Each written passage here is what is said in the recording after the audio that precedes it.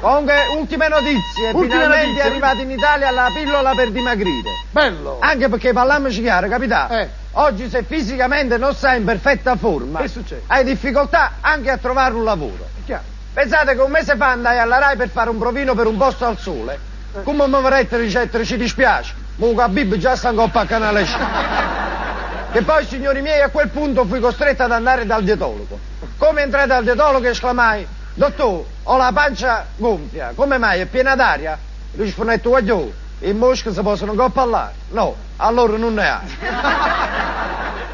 Dottor, dice, ma parliamoci chiaramente, molti mi hanno detto che se bevo molta acqua posso diventare bello. Rispondete, dipende, guagliò, se acqua e luda la tiene qualche speranza. A quel punto mi guardò negli occhi e disse, ora ti prelevo il sangue, ti prescrivo le analisi per l'ABS. Dice, dottor, scusate, ma che c'è? L'ABS è un sistema di frenata. Appunto, guagliò, quando vedo il frigorifero, invece di tutto, a capainte, ci chiede frenano poi. Comunque ora ti prescrivo una bella dieta.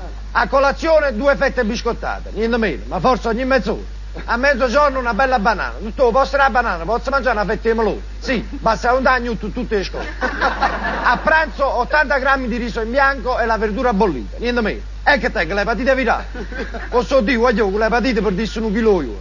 A pomeriggio un'altra banana e, e a sera mi va a coppano un cupertone con un capo e spava a pizza. Perché mi avete pigliato per una sci?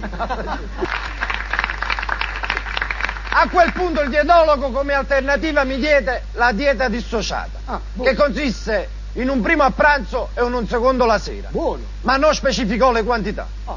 Ma mangiai in ruota sano i pasto fu. Mamma mia. Mezza vacca che patane, un capretto, tutti i re chiago. Tutti a rete. A quel punto, dopo dieci giorni, tornai con 10 kg in più, mi retta la dieta mediterranea, ma non spiegò che significava.